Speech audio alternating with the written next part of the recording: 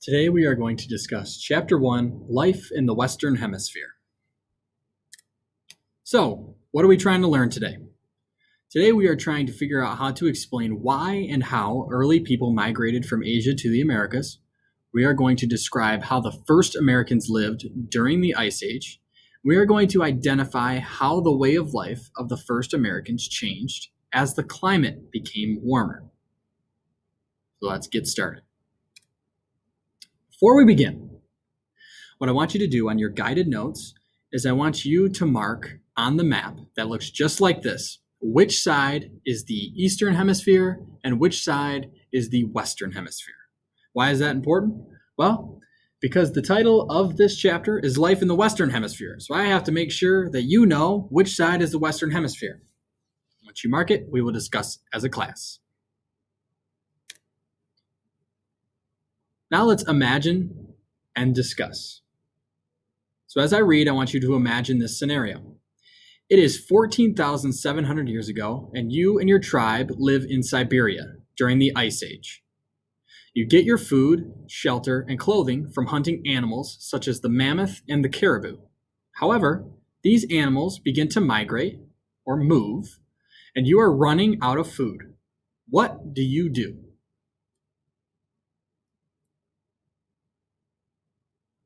Now that you've discussed and we have read, or we have uh, imagined and discussed, please read page 55 and fill out your notes. Make sure to pay close attention to the theories about how early Americans came over from Asia and why.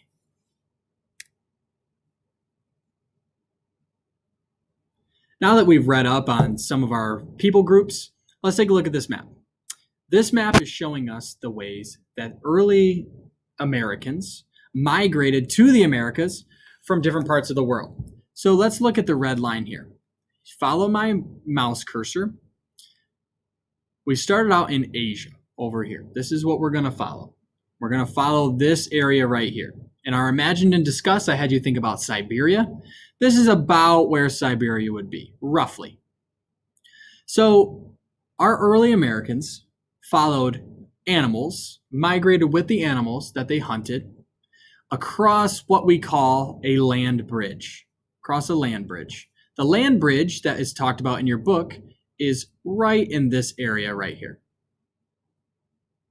So it's discussed that people crossed this land bridge, crossed over here into what is Alaska, came down through Canada, and came into the United States and kept going and went down into South America and all of this region here. And then they began to live there. The reason our book discusses that these people migrated from Europe and Asia to the America is that they were following animals. They were following animals. So these large animals, such as the woolly mammoth, such as the, the caribou, were moving across this land bridge up here. And our great, great, great, great, great ancestors followed along with them because they needed them for food, they needed them to live.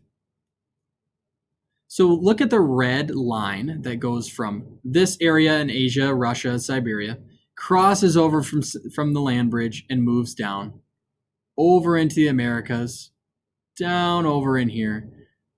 And we will discuss this more as a class. Now let's watch a video.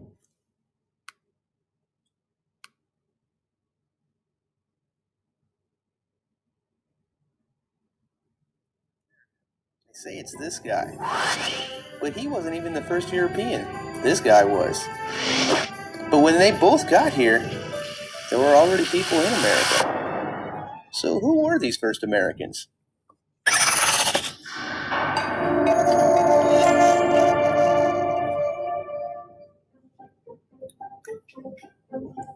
So, if the first Americans weren't some Spanish conquistadors or Vikings plundering the world, who were they really? Well, it turns out they look much more like something like this, which many people today might call a caveman. But they weren't really cavemen. What you would call them is a hunter gatherer, which means they do exactly what their name suggests here, which means they hunt and they gather things to survive. And they didn't live over here in America at all. In fact, they lived originally in what you would call Eurasia. So the part where Europe and Asia connect, being one giant landmass, would be Eurasia. And they would come to America about 40,000 years ago. So, as a hunter and gatherer, what they would do is just be searching all the time for food. They would wander all over Eurasian area looking for food and shelter and all the things they needed to survive. And eventually they get to a location right here. And as you can notice, getting across to America would be a little bit difficult. It would require either boats or what we call today the Bering Strait land bridge. So let's take a look at the Bering Strait. What we're talking about is the waterway between Asia and America. So a strait is just a small piece of water that are going through places. Here's another one here that is going between. Here's another one going between two pieces of land. These would be straits where a small piece of water can be passed through, separating two land masses. Now, this is the Bering Strait up here at the top between Alaska and Asia, and it was unpassable unless you had boats. So, like I said before, I'm going to put boats here. They would need boats or what we call the land bridge. Now, a land bridge is possible between the two if you are talking about a time period known as the Ice Age. So let's take a look at the Ice Age here. and I'm going to write that one more time for you. Ice Age. During an Ice Age, the polar caps, so up here like in the North Pole, for example, they would grow. There would be more and more ice and snow, and they would continue to move further south than they normally are. And whenever you have ice build like that, you have lower ocean level. So the ocean level begins to drop, which means more and more land is growing between two pieces of land. For example, whereas the Bering Strait used to be here, there now is covered in ice, and I could walk across. Or before, where I could take a boat across, I don't have to go across the ocean. I can just follow a boat along the ice, hunting. And eventually, as you can see, you would wind up in America. So let's bring our hunter gatherer back into the picture. Let's say he lives in Asia and he's wandering around hunting and gathering for most of his life. And eventually they get over to here. And now, when they get here, they're no longer stopped by the Bering Strait. They can technically walk across, or later with canoes, other people can canoe across the ocean line. And they eventually are in America and they would populate and go all the way down to the south. These people right here would be the first Americans. Today we call them Native Americans.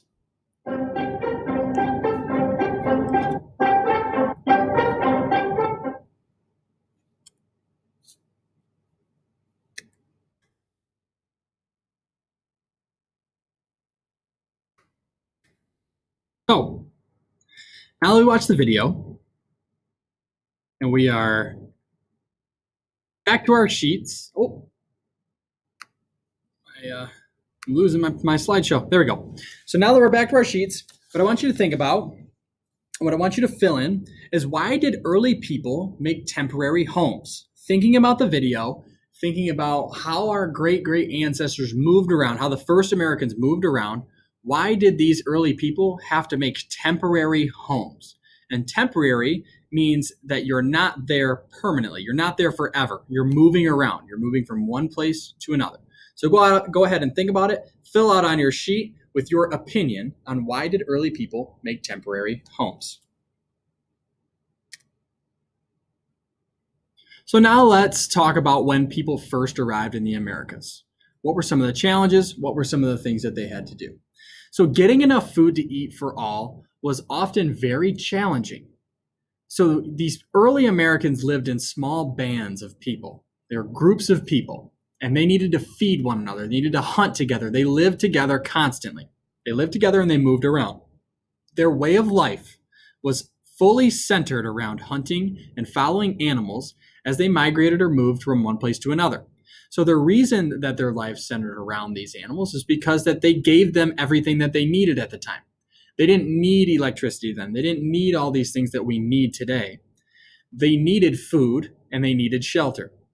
These animals provided them the things that they needed, the basic, basic, basic things that they needed. So now what I want you to do is I want you to read pages 56 and 57 in your textbook on your own and answer the questions on your packet. So as you go through, you're going to read page 56 and 57, answer the questions in your packet, thinking about the video, thinking about the things that we've discussed in the PowerPoint so far. Use pages 56 and 57 to help you. Now that you've read pages 56 and 57, let's summarize and let's review a little bit. As the climate became warmer, some large animals became extinct. So, because these large animals became extinct, because the climate was getting a little warmer, the first Americans went from just being hunters to what's called a hunter gatherer. So, they followed and hunted animals still, but in the meantime, they also gathered food from plants because the the weather was starting to lighten up, the climate was starting to lighten up, starting to get a little warmer, and so they these plants were coming out. Think about in the winter when it snows, there's not a lot of plants, there's not a lot of green. And as it warms up, the greener things get, the more plants you see. Well, these first hunter gatherer Americans were seeing the same thing. So they started to move around and they started to pick plants to eat berries, nuts, all of these different things. So what I want you to do now is I want you to look on the second paragraph of page 57 to see what type of food sources the hunter gatherer ate. Take a look at that, that paragraph. Now let's look further on. 7,000 years ago in Mexico, people began to plant seeds and grow food for themselves for the very first time. So, what this means is that they went from hunter gatherer, where they were moving around and they were killing the animals and they were also gathering food. So, for the first time in human history that we know of, for the Americans, 7,000 years ago in Mexico, people were planting seeds and they were growing food for themselves. In other parts of the world, they'd already figured this out. But in the Americas, this was the first time.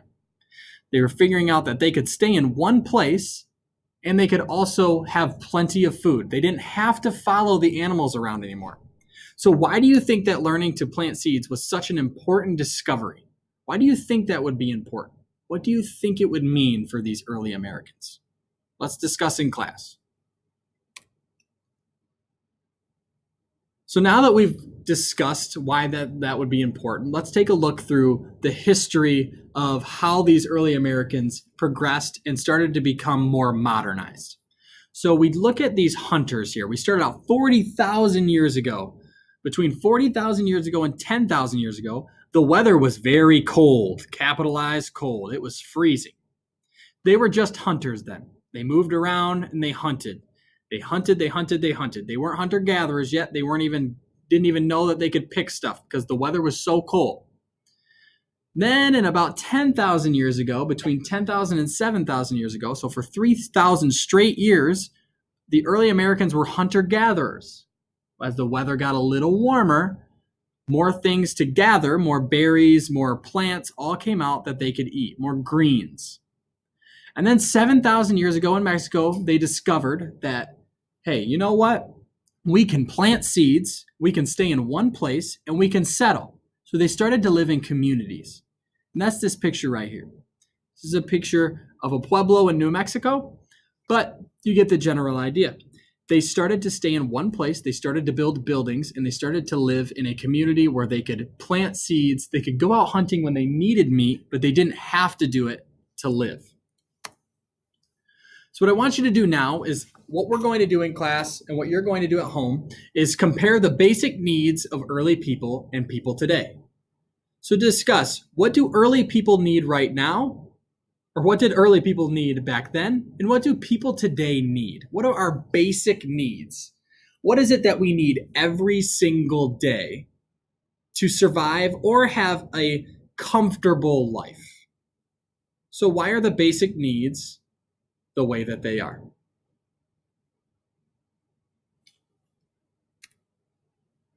Let's review lesson one. So, in lesson one, we tried to learn to explain why and how early people migrated from Asia to the Americas, describe how the first Americans lived during the Ice Age, and identify how the ways of life of the first Americans changed as the climate became warmer. You'll see at the end of your guided notes in the review section that there are these three questions down there. All three of these are down there. What I want you to do is I want you to take a minute and answer those questions the best you can. When you are done, you will turn in your chapter one guided notes. That was lesson one of chapter one Life in the Western Hemisphere.